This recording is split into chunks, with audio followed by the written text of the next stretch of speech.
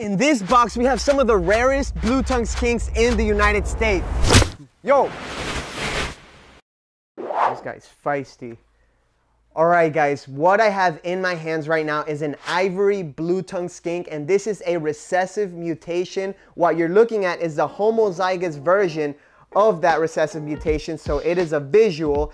And this animal, these guys as babies, they're gonna be born with yellows or oranges, but as they get older, they're gonna become a pearl white color. They're gonna be all white, and this guy's actually in shed right now. But look how beautiful this is. And these guys, this is a mutation that's, you know, not new to the Australians, but here in the United States, it's brand new to us. It just became available to most people. Some people were working with them, but now there's a chance for everybody to come in on this mutation. And this is one that I'm really excited about. So we actually have two of these babies we picked up and we have another one that we're gonna offer for sale but we're excited. We house them basically like any other regular blue tongue skink. And the cool thing I like about these new V18 tubs is that they actually have this water bowl feature, so they'll never spill their water, and it just makes it very simple to switch out their water. And you can actually find that on our website. But now let's go talk about the differences between the white northerns and the ivories.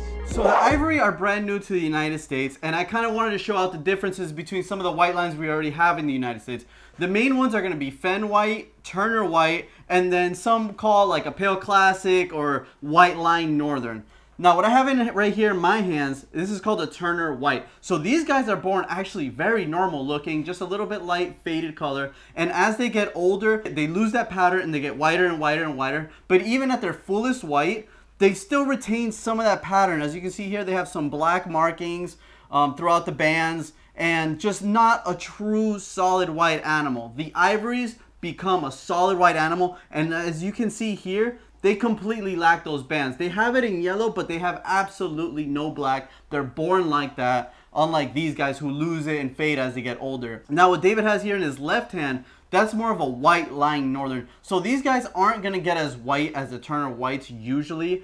They're, like I said, they are also born more normal. They're to have some yellow colorations. Their black is to be like faded, almost like a gray, and they will get whiter as they get older, but they retain a lot more of that pattern in comparison to some of these Turner Whites. And these guys can sometimes take years to look like this. Just because you have a Turner White doesn't mean it's to turn solid white. If you have an Ivory, you know it's to be mostly white animal. These ivories are a recessive mutation, meaning that if I breed this visual to a normal, you're gonna get all normal babies, but they're all carrier for the ivory gene. Now, if I breed this baby to either a carrier or another visual, we're gonna get a lot of white northerns in there. Uh, very cool mutation. Very excited to work with this. I'm super excited to see like what happens when we mix this with more colorful animals. Like yeah. I wonder if it keeps some of that yellow, some of that orange. So only time will tell. We're super excited to work with these guys. Yeah, and, and it gives us more like certainty of what we're producing too because a lot of people see Miami snow, they see some of our really high white animals and they're like, I want that, how can I get that? And we gotta tell them like, listen, you know, his babies might not look that white. So it's really like, we don't know. But when we do breed these ivories and we do hatch out white babies, we know for a fact they're gonna be all white, pearl white their whole lives. But anyways, now I got my little guy here with the lid. We're gonna go take a picture of this guy and post them up the website. If any of you guys are interested, these guys are high dollar amount right now, but eventually, you know, the prices will kind of regulate. But this is a really high-end morph we're excited to work with, and it's a great opportunity for any breeder that's looking to get into the blue tongue skink world. All right, guys, if you want to follow what's going on with the Ivory Blue Tongue Skink project, make sure you follow us on our social media. Check out our other videos if you're interested in learning how to keep one of these guys, and we'll see you guys on the next video.